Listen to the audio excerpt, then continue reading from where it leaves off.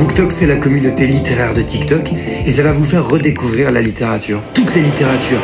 Le manga, la romance, le thriller, les classiques. Ce livre m'a vraiment changé la vie.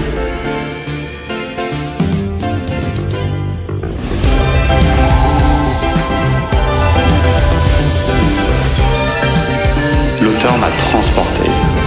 C'est la meilleure BD de science-fiction. Alors?